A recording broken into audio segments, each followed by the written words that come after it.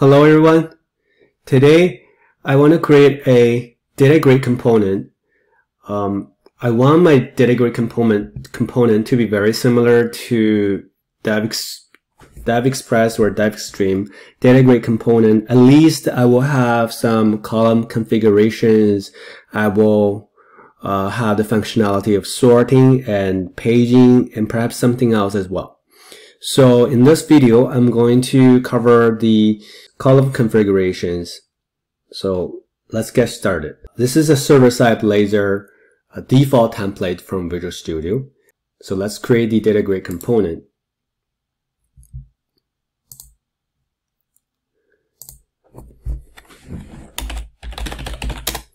Under the controls folder,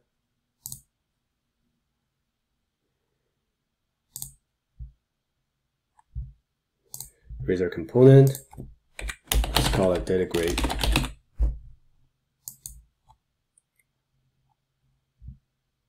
I might need a silent keyboard. This keyboard is too loud. Sorry about that. Um, so in order to have the data passed in, I need it to be um, to have a generic type. And then from there, I need to use the generic type to have a list of items.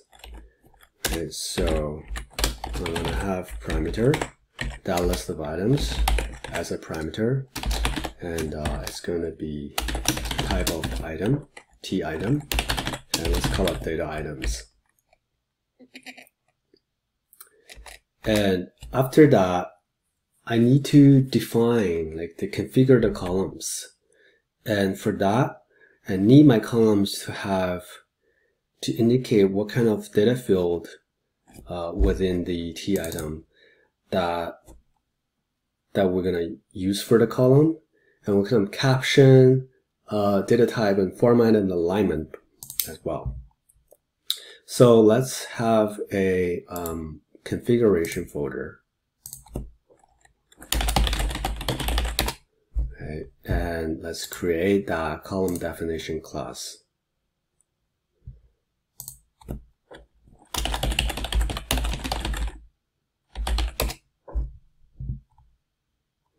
Okay, so I have this. And what I need is data field and I would need the caption as well. Right? Because the name of the column may not, can, can maybe differ from the caption uh, of that column. And then I would need a data type. So for that I would need a data type class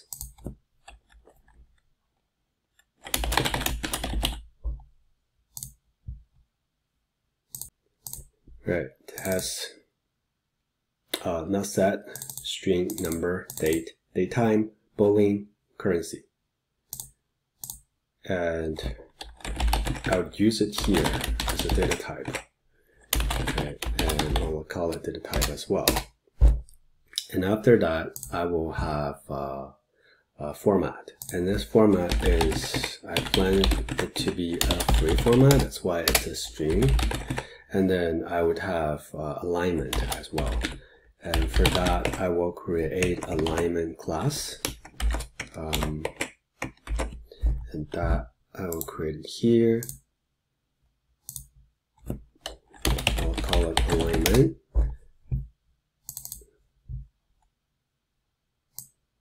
And it's uh, going to be an enumeration as well. And it has not set, left, center, right.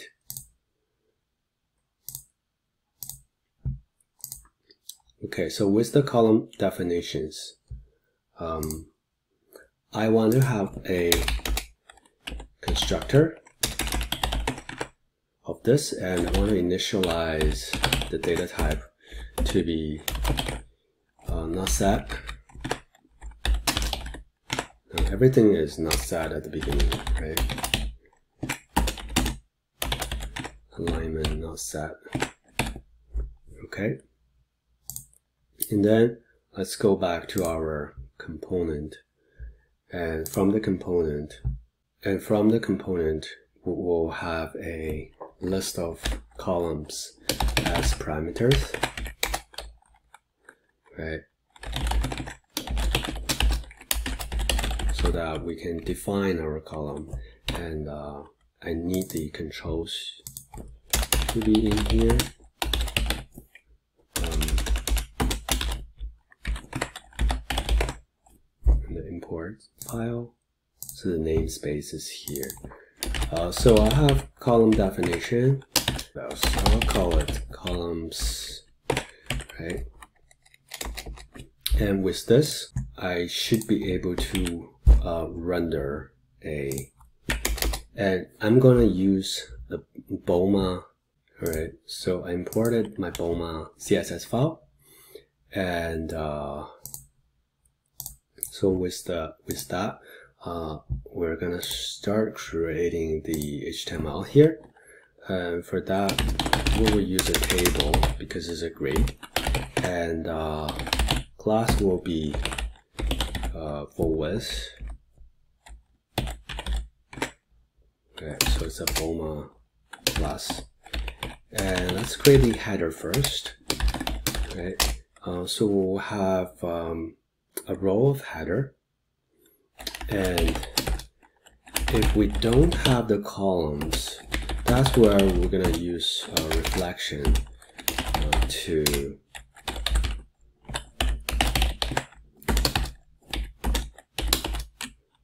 you know uh, to deal with you know we need to create the header with reflection. Um, but let's focus on the scenario where we have the column definitions. Okay, so we create a header um, based on column definitions. Here, we'll just uh, um, we will need to loop through right for each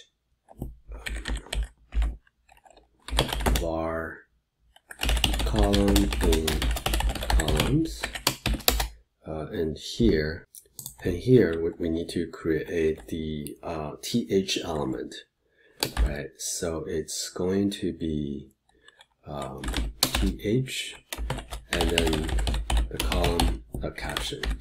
So let's let's test this.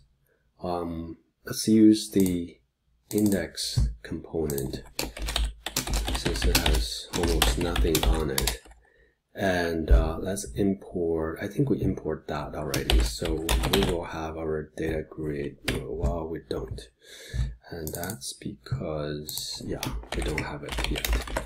We have this let's import this namespace controls. And then we go back to here. Um, we can have our data grid. And I don't know why it's still complaining that uh, oh. Controls. And let's go back to here. And we'll data grid data grid component. And we have our data items column definition everything right? So let's just use it this for now. It's going to complain but let's add this code here. And we need to initialize the definition and stuff okay with that um, we have uh, I have some definitions created for um, we ha I have some data created from previous videos uh, and I have extended that. So let's just copy that over. So I have an employee class specified here right? And I need to um, define a list of employees um, in here and I, need I need to initialize that. I also need a column definition, right? And that's, that is here. And I have my initialization method created already. So let's copy and paste that over here and let's take a look. What it's trying to do is it's trying to initialize.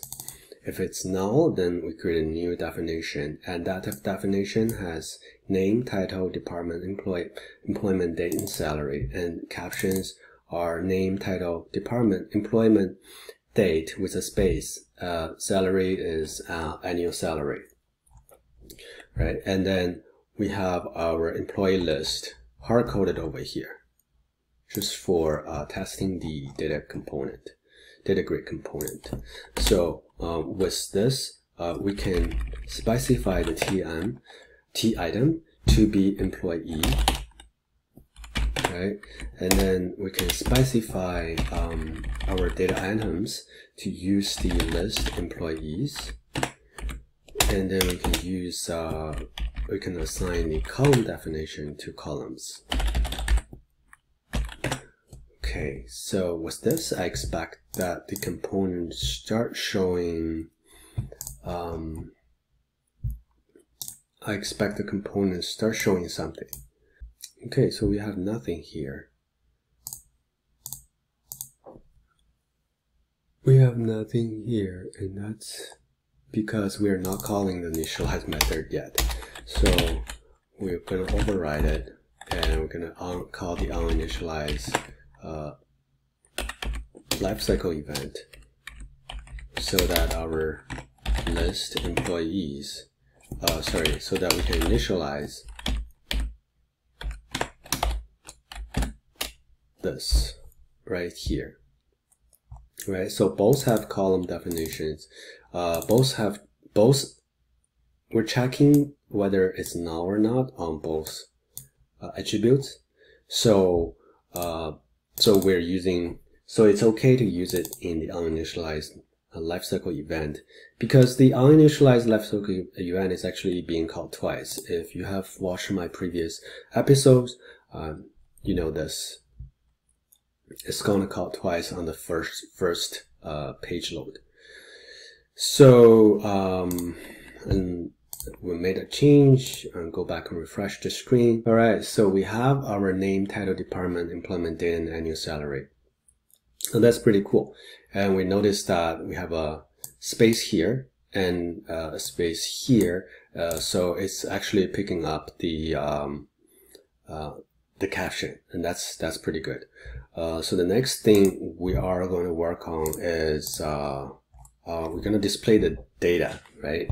So for that, since we have already initialized the data, uh, let's go back to our data grid component and let's um, add the t-body body element and from here uh, what we need to do is just simply loop through the data items right and in here we have the rows and we just need to you know go um, uh, also loop through the columns and uh, provide. So inside the double loop we use um, reflection you know, t item and then we just get property got what property and that's where the data field you know the data field is being used here right? Because if we go back to column definition we can see the data field here and if we go back to our uh, initialization data initialization we can see that the that the data field you know it corresponds to each one of the properties in the employee class right so here, sort of we use the reflection and provide the data field as the name of that property. And that's that will get our corresponding property from the employee class. Right? And here we just need to get value and get value of what? Get value of the current um, current item. Right? And that should provide us with the data. And let's go refresh the page and see whether we have all of the uh, data displayed here. All right, cool. So we have the data here and uh, we noticed something that, you know, we want to have some formatting. Uh, the salary is not showing dollar sign, like it's not being displayed as currency. And the alignment for numbers should be aligned to the right. I want to see it to, to align to the right. Uh, I want the employment date to only display the date part. So we have some formatting to do. So let's first uh, deal with alignment. Deal with alignment, and for that we we already have the alignment in the uh, in the definition, and for alignment we have not set, left, center, and right. And uh, to do to use alignment, we need to uh, do something with um, header and as well as data. So let's deal with the data since we just finished data here.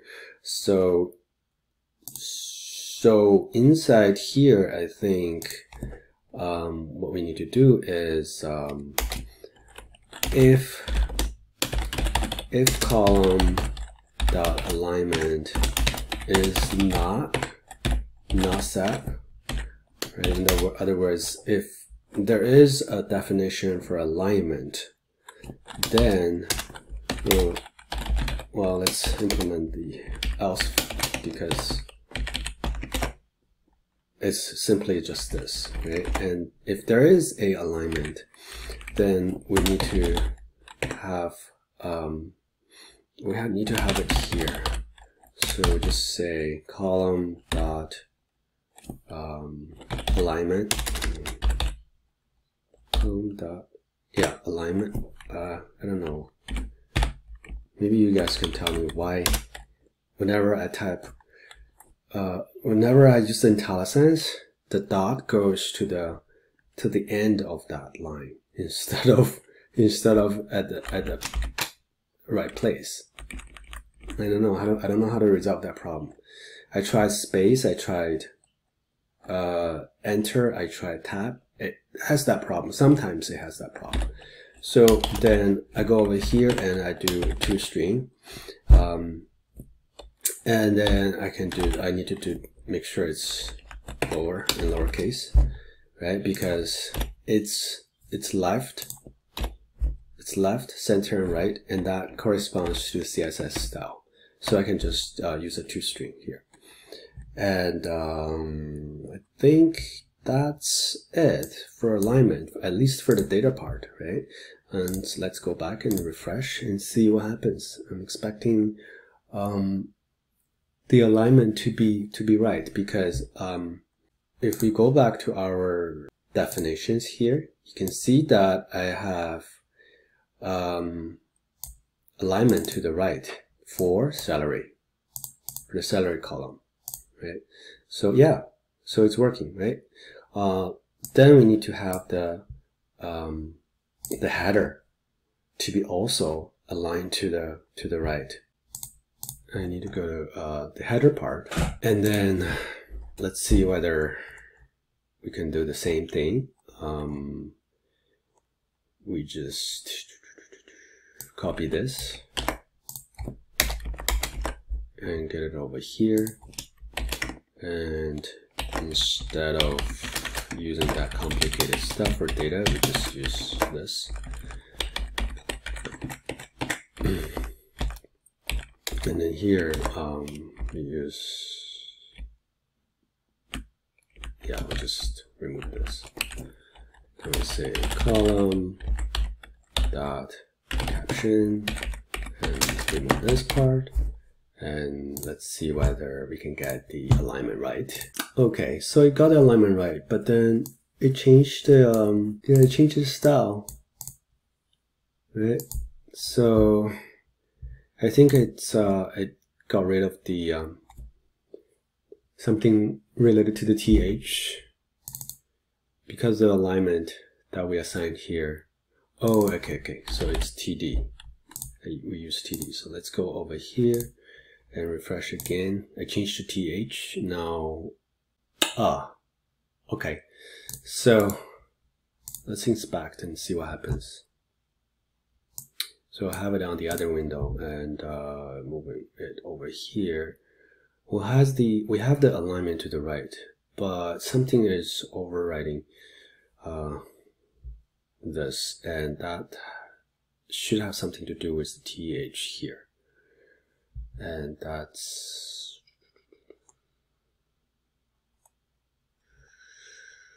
and what is that? Okay so it inherits it inherits from something okay so if I yeah if I add it back then yeah then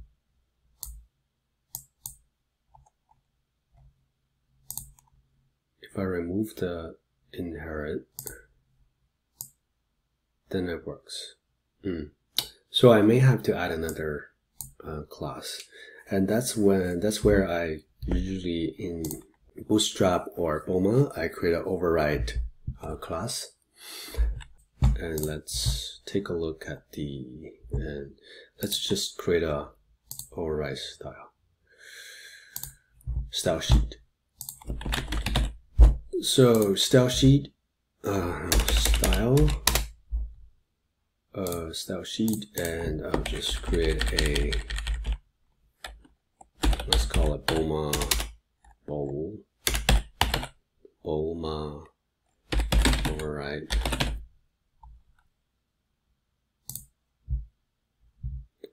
Okay. And uh, in here I will have uh, uh, I want to create a, alignment. My uh, style is also targeting th and I wanted to align to the right okay? And that would have uh, you know, text aligned to the right.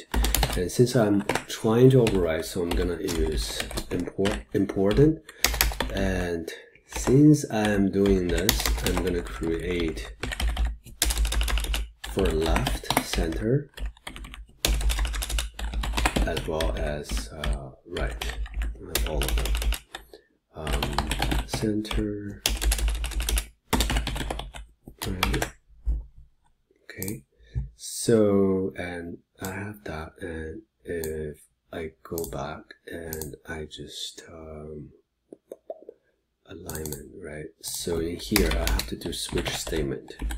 Switch column uh, dot alignment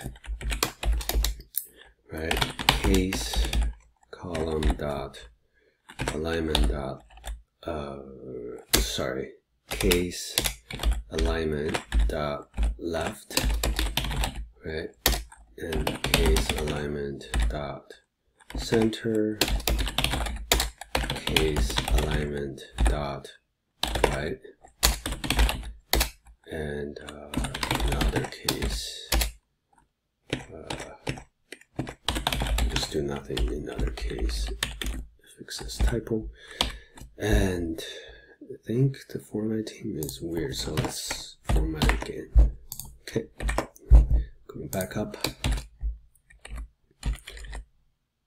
And so so instead of using it right here let's put it inside. And we need to use the class that we just created.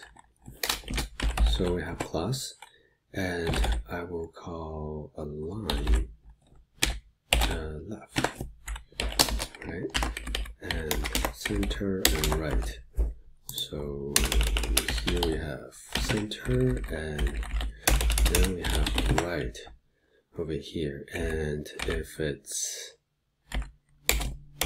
if it's alignment dot not set or if it's default then we use uh, use nothing. And that should be okay. Let's see what happens if we refresh our uh still not working. And why is that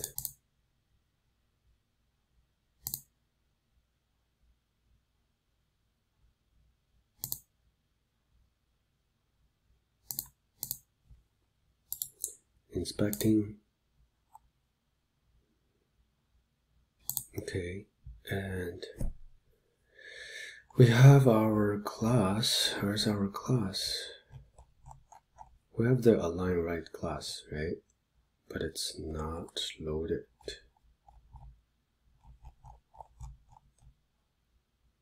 Hmm. Perhaps um, let's go to. I think perhaps we need to the style sheet here. So we have this already here, and uh, I need my Bulma to be here. And I also need my uh, Bulma override to be here as well. And let's see whether this would fix that problem. Okay, all right, cool. So we have our um, class correctly uh, uh, applied here. Uh, next thing is I want to have the formatting as well. And, uh, and for that, I uh, planning to do something simple. If we have, if we go back to our here, um, where we define our columns, if we have our format, if we have our format, see I have this data type as currency, I have this format as well. Um, and uh, I have the format here as well. So if there is a format, then then I want to format it. Otherwise, I'll just leave it alone, right? So going back to the data grid component, and um, we need to add some formatting in the in the T-body area, right? And that's where we will have uh, some kind of if statement, right? So we would say if the format is not empty, right, or null, if column dot format is not empty or null, and uh, f column dot data type we also, because the format is kind of dependent on the data type, so I also want to say, you know, if it's, if it's not, if it's set already, then I would actually format it. And in here, I also need to do some switch statement. According to, you know, different data type, I would format it differently right? So if it's date, um, if it's date, is there a date? Yeah, search as date, or if it's a um, date time,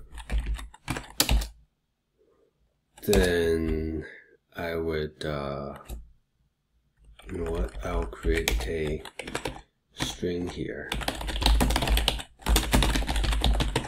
Right, and this is the value. And uh, if it's a date or date time, the value would be datetime dot. Uh, I would parse the because this value is basically an object. So I would have this and then I would call toString, oops, to y. Oh, okay, so to string, and then I have, you know, I have this and then I just to string because this is a datetime and then I use what I use the column dot format. Right? And that should do it. So that's for uh, date or date time and if it's a boolean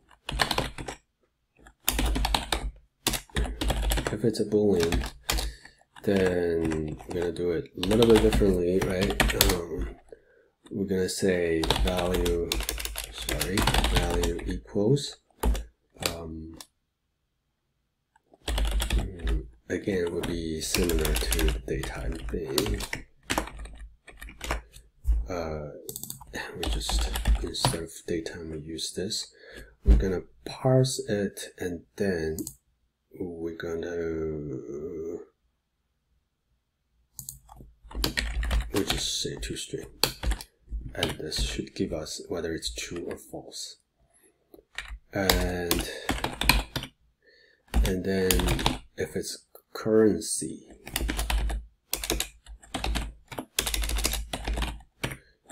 currency,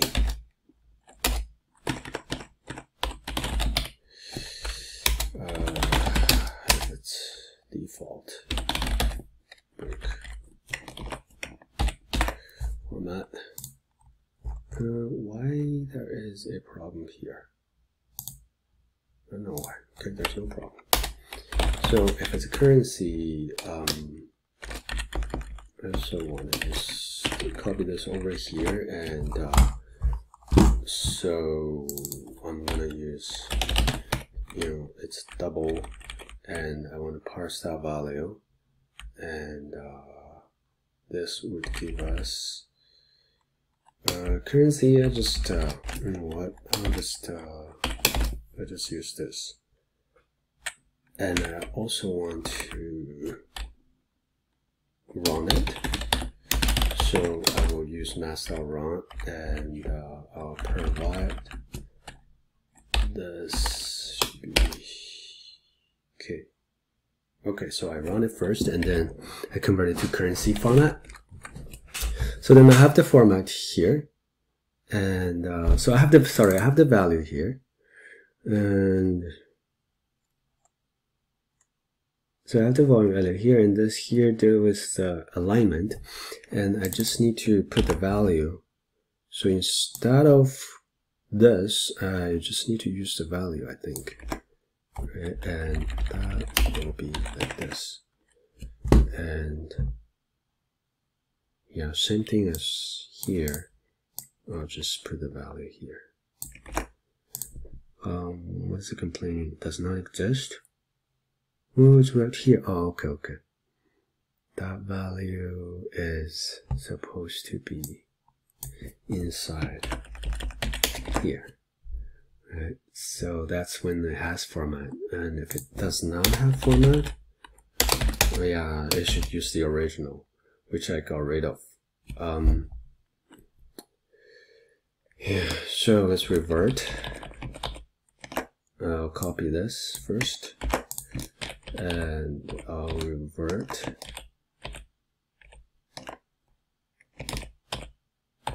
Okay, that's good. And then I have it right here uh, and else so this if statement is if there is a format right so we're dealing with otherwise here otherwise we just use the original one which doesn't deal with any format Okay, so I think we're good and going back and refresh the screen. Alright, so cool. We have our um, employment date format. We have our annual salary as well. So that's I think that's what I want to cover for today. I covered um, column definitions, column configurations. I covered uh, formatting, and I covered alignment. In the following episodes, I think I will uh, do sorting, paging, and perhaps something else. All right, thank you very much for watching. if you like my video, please give it a like and subscribe. I'll see you in the future episodes. Thank you.